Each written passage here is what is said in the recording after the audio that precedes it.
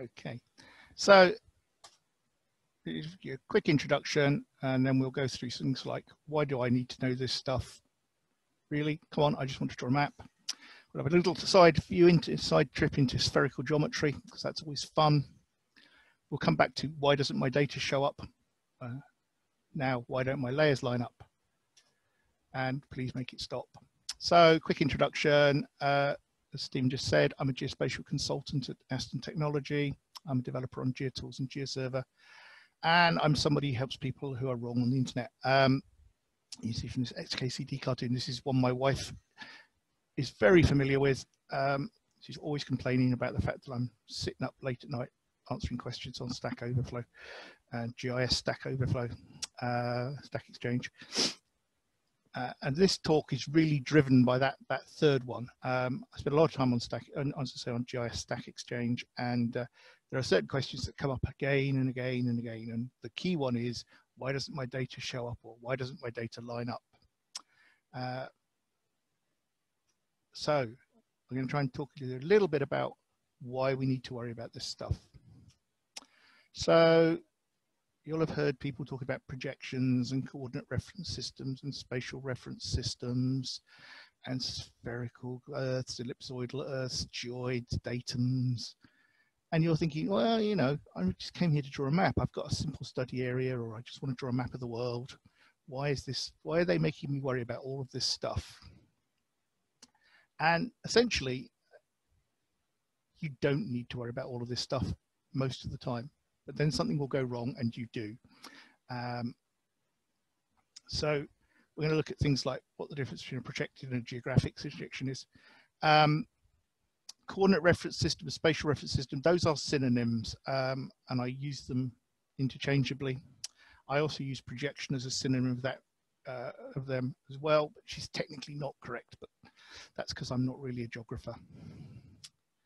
Um, so basically, why do we have to have map projections?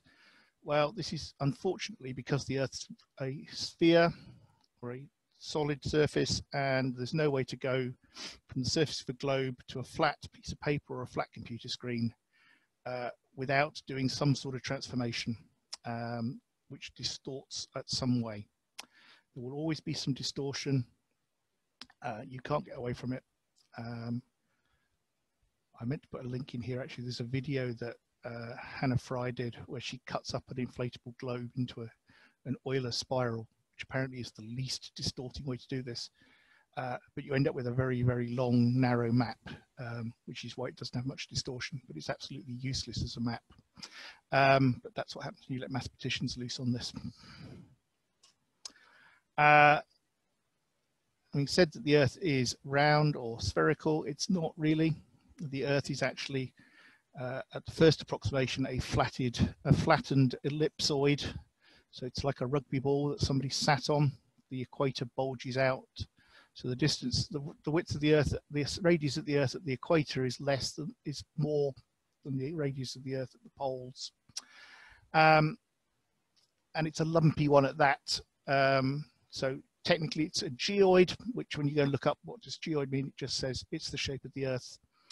Um, and back when I was an undergraduate in geophysics, we used to worry about how it was the normal of the surface of the gravitational field and yada, yada, yada. Basically, the Earth is not as round or as flat as you thought it was. Um, but we can mathematically fit a good ellipsoid to it or a generally agreed ellipsoid, um, which is what you use when you're looking at the rest of the world. We have regionally fitting ellipsoids. So Americans use an, uh, uh, use, use an ellipsoid that fits particularly well in America. Uh, Europe uses a different ellipsoid that fits particularly well in Europe. Um, and it all starts to fall apart at that point. So those are our data, our ellipsoids and geoids. Datum is when you start to narrow it down. You have to tie it down. You have to say, where is zero, zero on my axis system? Um, and how does that tie into the rest of the ellipsoids? So if you don't use the same datum or you don't carefully transform from one datum to another, again, it'll all go horribly wrong. So some common projections you'll come across. This the uh, a favorite of computer scientists uh, and amateur geographers. It's called the Plate Carrée. uh, or EPSG 4326. Uh, basically, Plate Carrée just means flat map because I finally wanted to find out about Mr. Carré and why he'd done this projection, but it turns out it is just a French word that's been that we haven't translated. Uh, as you'll see, uh, it's the map you're expecting to see. All the boxes are square, uh, and you'll notice I've used graticules on nearly all of my maps in this, uh, in this talk, uh, so you can see where the distortions are. Uh, the problem is, obviously, it's made the South Pole uh, 100, uh, 360 degrees long. It's made the North Pole stretch out. So all of these bits at the top, these little squares aren't actually square. It's a good old Web Mercator, um, which has the advantage that it's a square, which makes tiling it up easy. Uh, you can see here that the distortion as you go away from the equator is enormous. And as you get to the actual poles, it's exceptionally, it goes to infinity at the poles. So this is actually chopped short of the poles. Um, there are a lot of reasons why this isn't a good, good, good projection to use for any of your other maps. We get locally relevant, so Ordnance Survey AGB National Grid, that's the one you, at the bottom is what you'd expect it to look like. Turns out you can zoom out to the extent of the world. Uh, and as you'll see, there's huge distortions in you know, South America, uh, North America gets all chopped up. It's horrible, which is why you shouldn't use a local projection like OSGB outside of the area it's designed for, which is Great Britain. Okay, you'll see they're going, well, you know, I just want to draw a map. I don't need this. Uh, so what do you want to show? We consider the newly independent Republic of Sussex because our feudal overlords have run away to Canada uh, we've acquired some missiles and we want to know where we can threaten them with them. So the first one is, and this is the one that comes up most often on uh, Stack Exchange. I've got, I'm trying to do a buffer and I've done all my examples in QGIS, but equally people try and do this in R, in GeoPandas, in PostGIS. The answer is the same anyway. Uh, so I've got a point and I've done a 100 meter buffer or a 1,000 kilometer buffer and it's returned all of the data in my, in my data set. Something must be wrong. Well, the answer to that is you've used a 100 degree or a 1000 degree buffer, and your buffer is actually bigger than the whole world, um, which is why you've got back all of the data in your data set. So don't ever do buffers in degrees.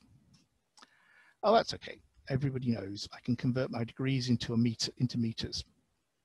Uh, so you go and look on, you type into Google uh, degree in kilometers. Um, and it will tell you that at one degree is 111 kilometers, technically one nautical mile. If you read the small print, it, actually says that's one degree of latitude, not one degree of longitude.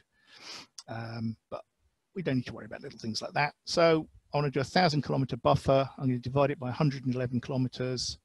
Uh, you can actually type a thousand divided by 111 into that distance box in QGIS and it will tell you it's 9.009 degrees.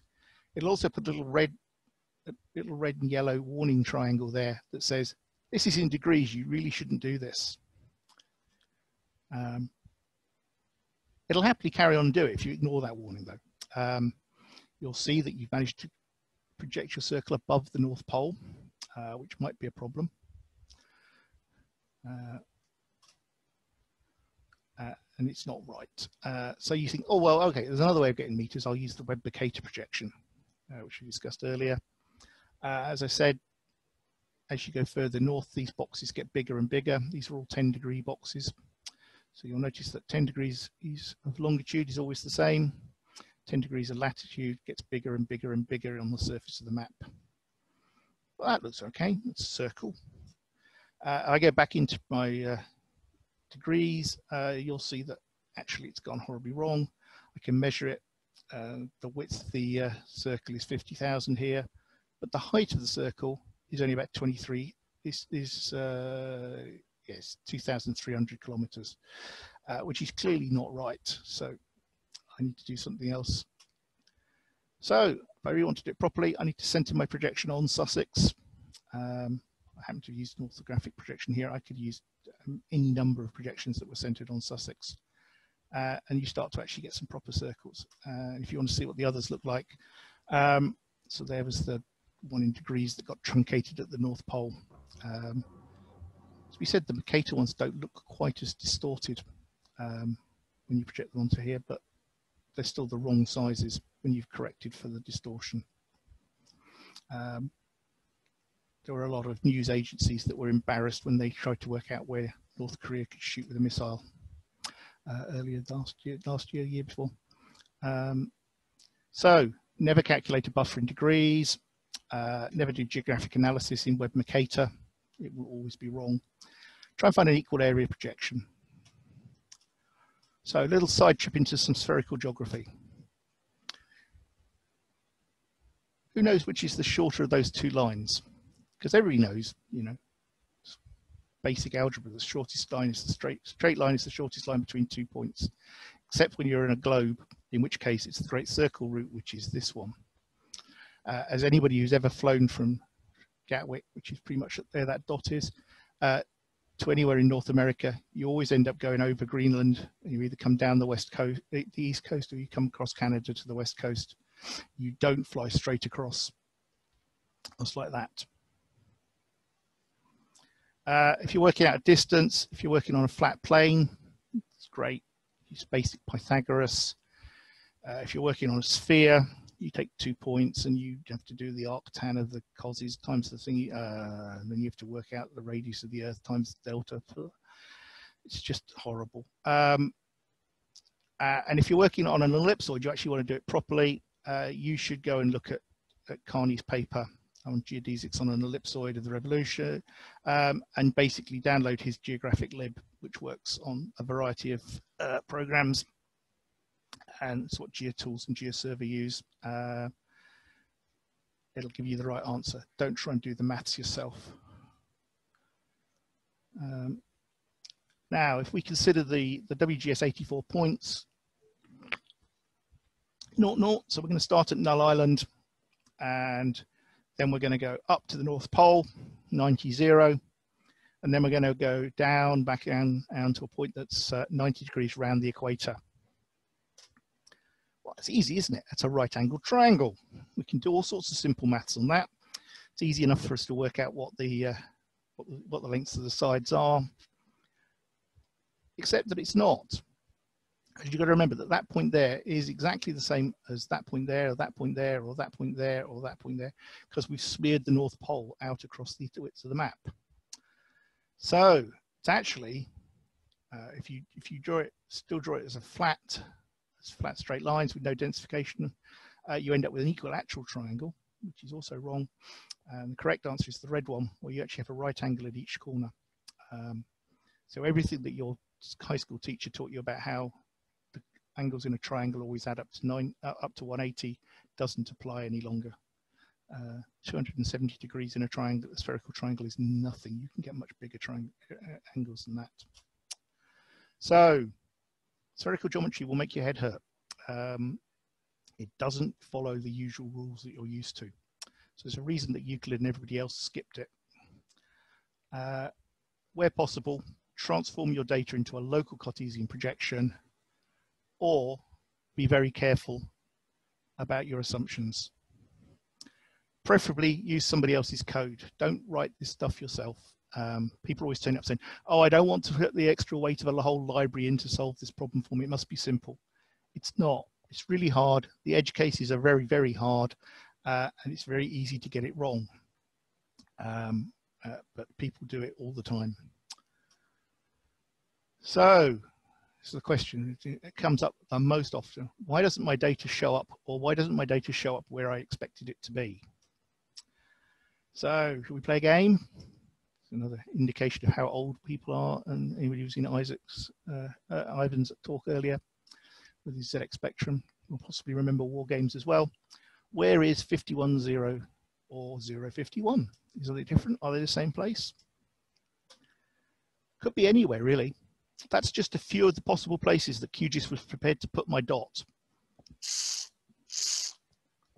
Um, so there's the one that I was expecting. She's there.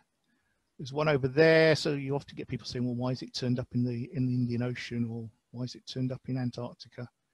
I've got one in the center of the US. I've got one down here in Antarctica. Uh, I've got one down here on Null Island. Uh, I've got one over here in northern Italy by the look of it. Um, and those are all perfectly correct results, uh, depending on which projection you pick. Um,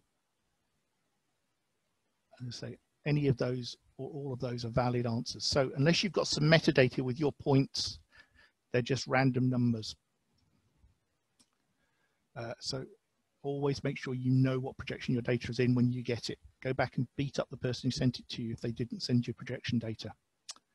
Now, why don't my layers line up? Uh, so I used to live in Pennsylvania, so I picked Pennsylvania data to test this with. Uh, I've got two layers, one of roads and one of county boundaries, and I want to do some analysis on them. You know, they're in Pennsylvania state plane of some sort. I don't know. So I just dragged them into QGIS and saw what, tried to see what would happen. And you can tell they don't line up. That's not, I've stuck two images together. That's what it looked like when I put it into QGIS.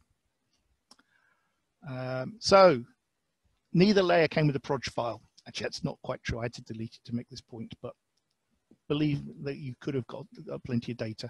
So I guessed it was in Pennsylvania South. Um, and for anybody who wants to work, complain about the weirdness, Pennsylvania uses a, a north-south uh, division of its state two state planes even though clearly an east-west one would be much more plausible. Uh, but in fact, one of them is in Pennsylvania North US feet and the other is in meters, which is why one of them is three times bigger than the other one. Um,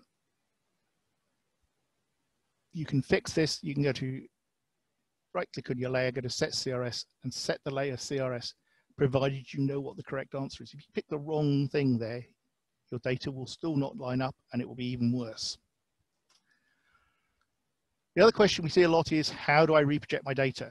So people will say, well, I went to set CRS and I set CRS to being in degrees, but it's still showing up as meters. The coordinates are all too big. As I say, you should only use set CRS if there's no metadata and you know what the right value is. If you want to change the projection of your data, you go to save or export as it's now called, your data and select the new CRS you would like. So instead of going to set CRS, you go to export, pull across, save features as. Uh, our final one for, for QGIS, when baseline maps go wrong. So I've added my natural earth coastline data, uh, which is WGS 84. And then I stuck in, I went on to, to quick maps and it doesn't line up projections don't match. The OSM data is in Web Mercator, and I have no idea why QGIS doesn't reproject it. But if you use QuickMapServices, it doesn't. You want them to line up, you have to change the projection of your project, not of either of your layers. Don't start changing any of the layer metadata. Just go with the project. Uh, another now you see it, now you don't. That's OS data where they don't feel you need a projection because everybody knows that it comes in in OSGB. Uh, QGIS default default projection is WSGS 84. Uh, so again, you need to set it to make it turn up in the right place, like that. Uh, ultimately, you end up visiting Null Island. Here's, uh, I've had to draw a little red circle round my data now. It's all hiding down there. Uh, the map is in Web Mercator, uh, and I told it that that I should set my data to match that. Uh, it's all hiding down there. So coordinates without projection, meaningless numbers. There's no projection supplied. Look at the metadata. Fix your input data once. Don't rely on remembering every time. And then look at your range of bounding box to give you an idea of what you're looking for. So, oh, I just want it all to stop. Well, use PostGIS. You can use geography. Uh, you don't have to worry so much then. You can store it all as WGS84. Two minutes, Ian. Okay. Uh, you store it all as WGS84 as geography data. You get a lot fewer functions and you get much slower performance. Um, I'm quoting uh, Regina here, but I believe that she's done the tests. It's 10 times slower to use geography. ST_Transform is your friend and you can create indexes on it on transforms. Um, so if you know you're going to be looking at stuff regularly in a different projection, uh, then that will work. D within is useful then.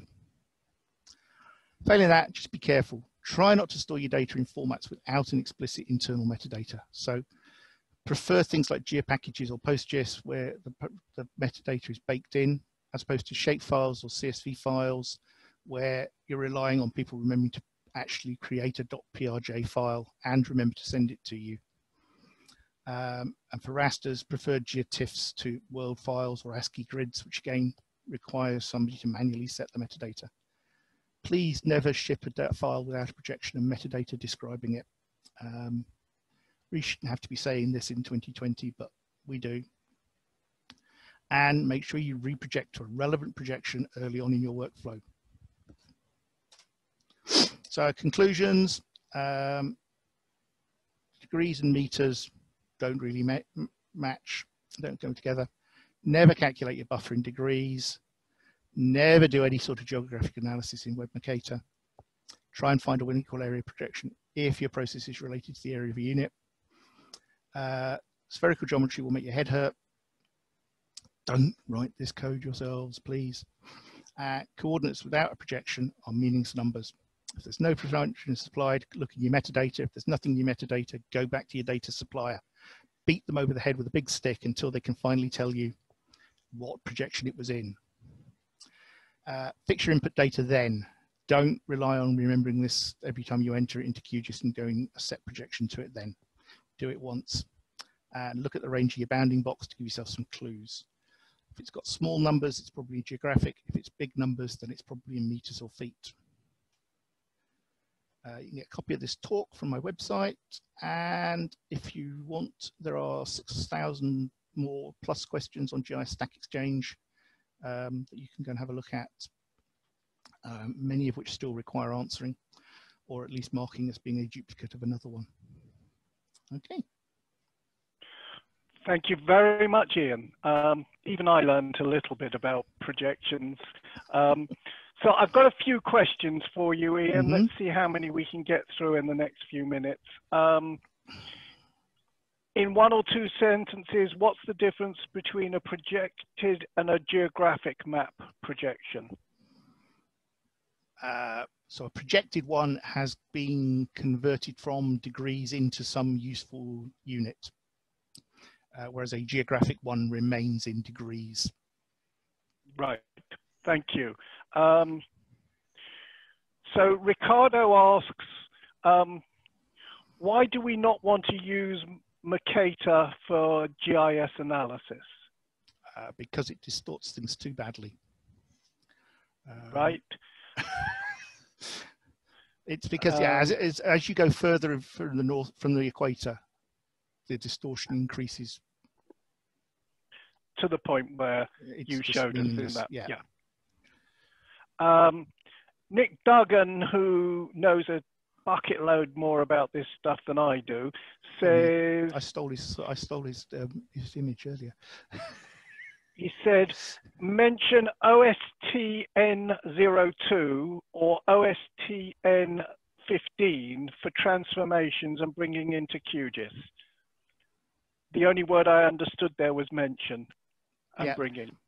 No, that's if you get really keen and you're really worried, you know, the standard conversion transform from uh, WGS84, say, to OSGB National Grid is accurate to a meter or two. And to be honest, for most of us, that's perfectly fine. Um, if you're people like uh, Nicholas and you're doing actual surveying and things, you're going to want to use a much more accurate transform uh, for which the OS provides two, uh, which I know, know as 02 and, 05, uh, and 15. Um, that you can add to QGIS, you need to download, um, I can't remember what this is, there's a projections file. It's part of the um, Proj system that you download and store in user share Proj. And after that, all your QGIS versions go down to centimeter or sub-centimeter accuracy. I've yet hmm. to meet anybody who surveys anything to sub-centimeter accuracy despite their claims. But uh, there we go the other thing I should have mentioned was don't ever produce your projections to 18 decimal places is because you haven't got that accuracy originally. Um, and Tina C says, lots of UK government shape files have invalid geometries and come with user-defined projections. When I convert to a different coordinate system, my map ends up somewhere else in QGIS. Yep. That's possibly because you're um, you're doing a you're using set CRS to set the new projection rather than export save features as. Um, the reason it comes up as as a user-defined projection is because they've used um, a certain large vendor's as version of the projection string rather than the, the standard WKT version that everybody else in the world uses. Um, now, the certain large vendor has argued in the past that they created their strings first and we should have all copied them. Um, but that's a bit of a poor excuse if you ask me.